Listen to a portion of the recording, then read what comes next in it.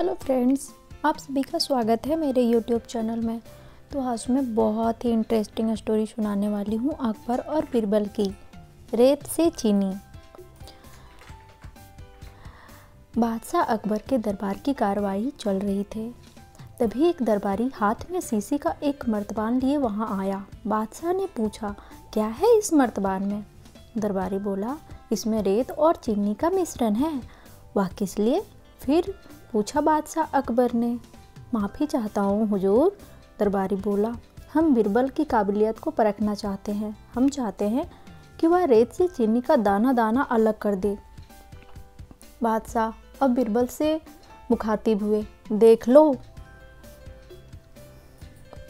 बिरबल, रोज ही तुम्हारे सामने एक नई समस्या रख दी जाती है।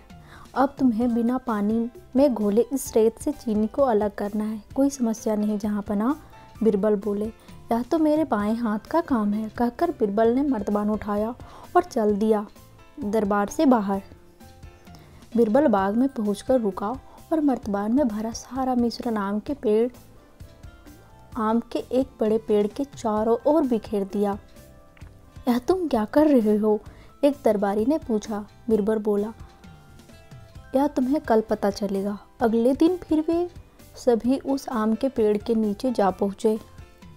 वहाँ अब केवल रेत पड़ी थी। चीनी के सारे दाने चीटियाँ बटोर कर अपने बिलों में पहुँचा चुकी थी। कुछ चीटियाँ तो अभी भी चीनी के दाने घसीट कर ले जाती दिखाई दे रही थी। लेकिन सारी चीनी कहाँ चली गई? दरबारी ने पूछा। रेत से अलग हो गई, बीरबल ने कहा। सभी ज़ोर से हंस पड़े। बादशाह ने दरबारी से कहा कि अब तुम्हें चीनी चाहिए तो चीटियों के बिल में घुसो।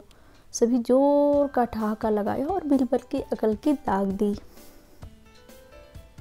चीटियों